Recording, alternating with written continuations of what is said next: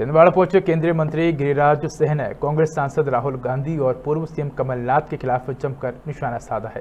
केंद्रीय मंत्री गिरिराज ने कहा कि इस बार छिंदवाड़ा में कमलनाथ का झूठ नहीं चल पाएगा और भाजपा सातों विधानसभा सीट जीतेगी। केंद्रीय गिरिराज सिंह ने पूर्व मंत्री कमलनाथ को आड़े हाथों लेते हुए कहा कि पिछले कई सालों से जनता को गुमराह करके झूठ की राजनीति कर रहे हैं। उन्होंने राहुल गांधी पर निशाना साधते हुए कहा कि राहुल गांधी विदेश में जाकर देश को गाली दे रहे हैं।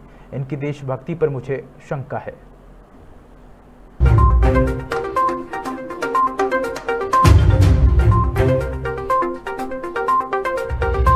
जब मोदी जी आए थे तो बहनों का एमपीए था 9.58 और यहाँ का था, जब हम आए तो ये घट करके 2.0 हो गया।